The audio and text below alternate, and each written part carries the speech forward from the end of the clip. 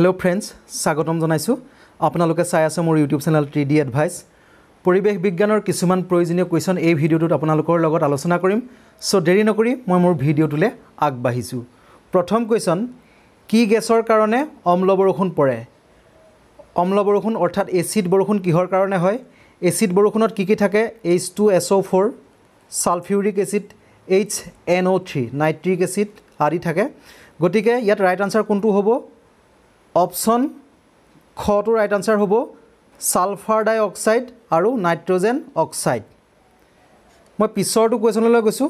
Question নং two সেউজগৃহ প্ৰভাৱৰ কাৰণে কি হয়? ইয়াতে ৰাইট আনচাৰ হ'ব সেউজগৃহ প্ৰভাৱৰ কাৰণে। অপশ্যন গ ৰাইট আনচাৰ পৃথিৱীৰ গড় উষ্ণতা বৃদ্ধি পায়। নেক্সট কুৱেশ্যন কুৱেশ্যন নং থ্ৰী ষ্টেটছফিয়াৰত থকা অ'জন গেছৰ তৰপটোৰ কাম কি? ইয়াতে ৰাইট আনচাৰ হ'ব অপশ্যন গ। সকলো অতিবেঙুনীয়া ৰশ্মিৰ শোষক। সকলো অতিবেঙুনীয়া ৰশ্মিৰ শোষক। তাৰপিছতে আপোনালোকে ষ্টেটছফিয়াৰত অ'জন গেছ থাকে অ' থ্ৰী থাকে সেইটো কথা আপোনালোকে জানিব লাগিব। মই পিছৰটো কুৱেশ্যনলৈ গৈছোঁ। কুৱেশ্যন নং ফ'ৰ কোলাহল প্ৰদূষণ কি এককৰ দ্বাৰা জোখা হয়? অৰ্থাৎ শব্দ প্ৰদূষণ কি এককৰ দ্বাৰা জোখা হয়? ৰাইট আনচাৰ হ'ব অপশ্যন গ ডেচিবেলৰ দ্বাৰা জোখা হয়। পিছৰটো কুৱেশ্যন কুৱেশ্যন নং ফাইভ শস্যাৱৰ্তন অৰ্থাৎ ক্ৰপ ৰোটেশ্যনৰ ফলত কি হয়? অপশ্যন ক মাটিৰ উৰ্বৰতা বাঢ়ে মাটি সাৰুৱা হয়। নেক্সট কুৱেশ্যন কুৱেশ্যন নং ছিক্স পাহাৰ অঞ্চলত ভূমিস্খলন কমাবলৈ কেনে পদ্ধতি ল'ব লাগে? ৰাইট আনচাৰ হ'ব অপশ্যন খ তৰপ পদ্ধতি। নেক্সট কুৱেশ্যন কুৱেশ্যন নং ছেভেন কৃষিভূমিৰ উৰ্বৰতা কি কাৰণে হ্ৰাস পায়? ইয়াতে ৰাইট আনচাৰ হ'ব অপশ্যন ক এটাৰ পিছত আন এটা খেতি কৰি থকাৰ কাৰণে কৃষিভূমিৰ উৰ্বৰতা হ্ৰাস পায়। মই পিছৰটো কুৱেশ্যনলৈ গৈছোঁ। কুৱেশ্যন নং এইট জন্মৰ হাৰৰ পৰা মৃত্যুৰ হাৰ বিয়োগ কৰিলে কি পোৱা যায়? এইটো প্ৰয়োজনীয় কুৱেশ্যন ইয়াত ৰাইট আনচাৰ হ'ব অপশ্যন খ। জনসংখ্যা সূচক। নেক্সট কুৱেশ্যন কুৱেশ্যন নং নাইন জনসংখ্যা বৃদ্ধিৰ হাৰ ক'ত সৰ্বাধিক? অৰ্থাৎ এই দেশকেইখনৰ ভিতৰত জনসংখ্যাৰ বৃদ্ধিৰ হাৰ ক'ত বেছি? ইয়াতে ৰাইট আনচাৰ হ'ব অপশ্যন খ লেটিন আমেৰিকাত আৰু দুহেজাৰ একৈছ চনৰ তথ্য অনুসৰি পৃথিৱীৰ ভিতৰত পপুলেশ্যন গ্ৰ'থ ৰেটটো ক'ত বেছি? চিৰিয়া। মনত ৰাখিব চিৰিয়াত বেছি। এনেধৰণৰ কুৱেশ্যন পৰীক্ষাত আহিব পাৰে। নেক্সট কুৱেশ্যন কুৱেশ্যন নং টেন কি কি প্ৰধান কাৰণৰ বাবে বায়ুমণ্ডলত কাৰ্বন ডাই অক্সাইডৰ পৰিমাণ বাঢ়ি যায়? প্ৰয়োজনীয় কুৱেশ্যন ইয়াতে শালুক সংশ্লেষণ থকাটো নহয়েই। শালুক সংশ্লেষণৰ ফলত কাৰ্বন ডাই অক্সাইডৰ পৰিমাণ কমেহে। গতিকে অপশ্যন ঘটোতো নহ'বই। তাৰপিছতে আৰু এটা আছে শালুক সংশ্লেষণ এইটো শালুক সংশ্লেষণ গতিকে গটোও নহ'ব। অপশ্যন কটো আৰু খটোৰ ভিতৰতে ৰাইট আনচাৰ হ'ব।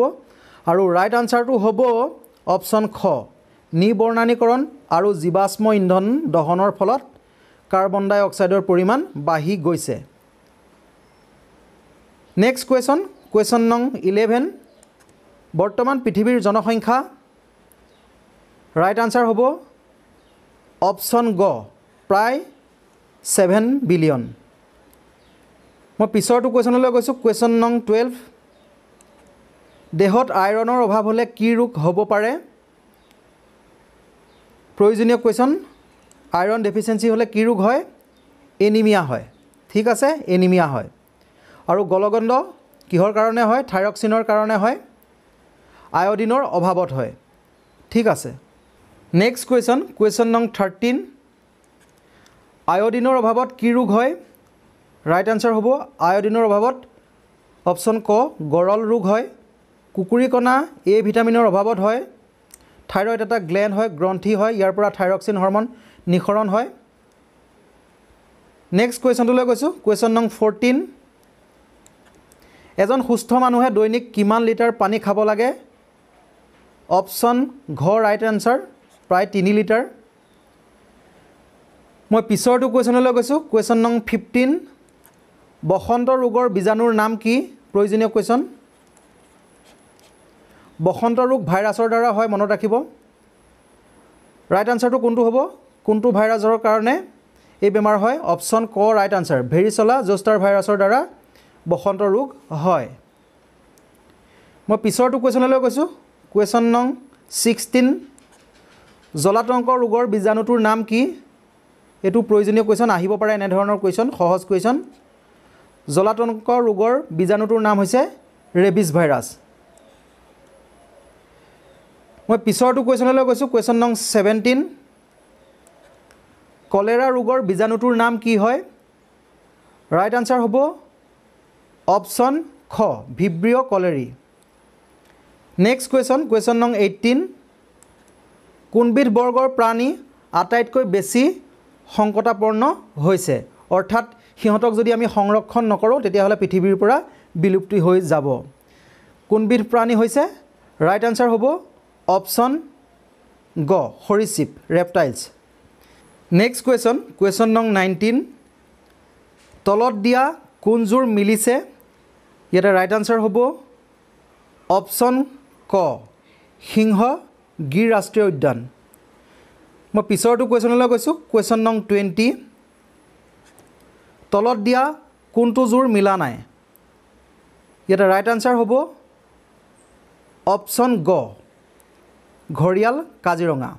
কাজিৰঙা ঘৰিয়ালৰ বাবে বিখ্যাত নহয় এশিঙীয়া গড়ৰ বাবে বিখ্যাত গতিকে এইটো যোৰ মিলা নাই। অপশ্যন গ ৰাইট আনচাৰ মই পিছৰটো কুৱেশ্যনলৈ গৈছোঁ। কুৱেশ্যন নং টুৱেণ্টি ওৱান নাগাৰ্জুন সাগৰ অভয়াৰণ্য ক'ত অৱস্থিত? নাগাৰ্জুন সাগৰ অভয়াৰণ্য ক'ত অৱস্থিত? প্ৰয়োজনীয় কুৱেশ্যন ৰাইট আনচাৰ হ'ব অপশ্যন ক অন্ধ্ৰপ্ৰদেশত অৱস্থিত। নেক্সট কুৱেশ্যন কুৱেশ্যন নং টুৱেণ্টি টু গিৰ ৰাষ্ট্ৰীয় উদ্যান ক'ত অৱস্থিত? প্ৰয়োজনীয় কুৱেশ্যন ৰাইট আনচাৰ হ'ব অপশ্যন ঘ গুজৰাটত অৱস্থিত। নেক্সট কুৱেশ্যন কুৱেশ্যন নং টুৱেণ্টি থ্ৰী বৰ্ষাৰণ্যবোৰত থকা কিছুমান প্ৰজাতিৰ বিলুপ্তিৰ প্ৰধান কাৰণ কি? ইয়াতে ৰাইট আনচাৰ হ'ব অপশ্যন ক নিবৰ্ণানীকৰণ অৰ্থাৎ যধে মধে গছ গছনি কাটি পেলোৱাৰ ফলত বৰ্ষাৰণ্যবোৰত প্ৰজাতিৰ বিলুপ্তি হৈছে। মই পিছৰটো কুৱেশ্যনলৈ গৈছোঁ। কুৱেশ্যন নং টুৱেণ্টি ফ'ৰ কানহা ৰাষ্ট্ৰীয় উদ্যান ক'ত অৱস্থিত? প্ৰয়োজনীয় কুৱেশ্যন ৰাইট আনচাৰ হ'ব অপশ্যন খ মধ্যপ্ৰদেশত অৱস্থিত। নেক্সট কুৱেশ্যন কুৱেশ্যন নং টুৱেণ্টি ফাইভ তলত দিয়া কোনবিধ প্ৰাণী ভাৰতত সংকটাপন্ন অৰ্থাৎ এনডেঞ্জাৰ্ড ৰাইট আনচাৰ হ'ব অপশ্যন ক বনৰীয়া গাধ। যদি আমি সিহঁতক সংৰক্ষণ নকৰোঁ তেতিয়াহ'লে ভৱিষ্যতে নাইকিয়া হৈ যাব পাৰে। মই পিছৰটো কুৱেশ্যনলৈ গৈছোঁ। কুৱেশ্যন নং টুৱেণ্টি ছিক্স। সাম্প্ৰতিক কালত ভাৰতত কোনবিধ প্ৰাণী বিলুপ্তি হৈছে? অৰ্থাৎ ভাৰতৰ পৰা নাইকিয়া হৈ গৈছে। ৰাইট আনচাৰ হ'ব অপশ্যন খ চিতাবাঘ। নেক্সট কুৱেশ্যন কুৱেশ্যন নং টুৱেণ্টি ছেভেন।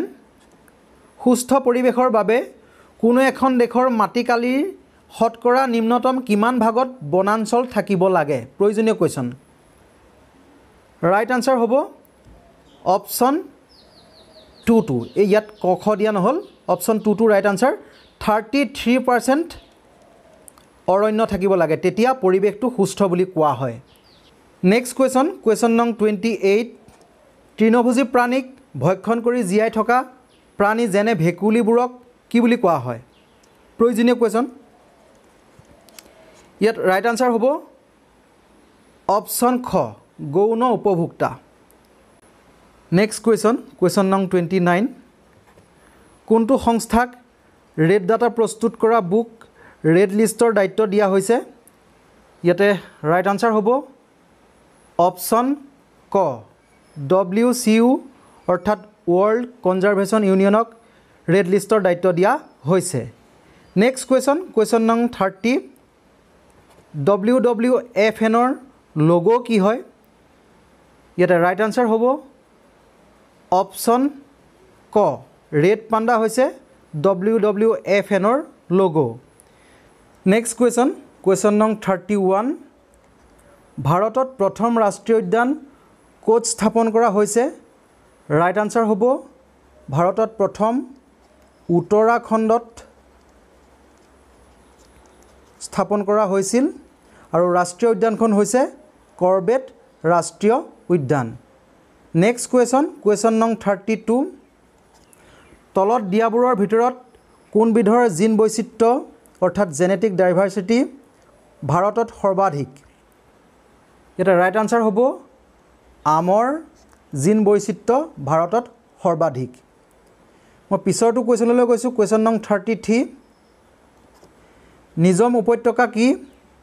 প্ৰয়োজনীয় কুৱেশ্যন ৰাইট আনচাৰ হ'ব অপশ্যন ক কেৰেলাত অৱস্থিত বৰ্ষাৰণ্য। নেক্সট কুৱেশ্যন কুৱেশ্যন নং থাৰ্টি ফ'ৰ কোনবিধ বিষাক্ত গেছৰ কাৰণে ভূপাল গেছ দুৰ্ঘটনাত বহুতো লোকৰ মৃত্যু হৈছিল? প্ৰয়োজনীয় কুৱেশ্যন ৰাইট আনচাৰ হ'ব মিথাইল আইচ'চাইনাইট অৰ্থাৎ এম আই চি। মই শেষৰটো কুৱেশ্যনলৈ গৈছোঁ কুৱেশ্যন নং থাৰ্টি ফাইভ কাৰ্বন ডাই অক্সাইডে অৱলোহিত ৰশ্মি কি কৰে? প্ৰয়োজনীয় কুৱেশ্যন অৱলোহিত ৰশ্মি শোষণ কৰে। অপশ্যন ঘটো ৰাইট আনচাৰ আশা কৰোঁ ভিডিঅ'টোৰ দ্বাৰা কিছু কথা জানিব পাৰিলে অতি প্ৰয়োজনীয় হয় এনেধৰণৰ কুৱেশ্যন পৰীক্ষাত আহিব। আৰু যদি আপোনালোকৰ মোৰ ভিডিঅ'টো চাই ভাল লাগিল তেতিয়াহ'লে লাইক কৰিব কমেণ্ট কৰিব শ্বেয়াৰ কৰিব। আৰু মোৰ চেনেলটোলৈ যদি কোনো নতুনকৈ আহিছে তেন্তে মোৰ চেনেলটি ছাবস্ক্ৰাইব কৰি থ'ব। ধন্যবাদ।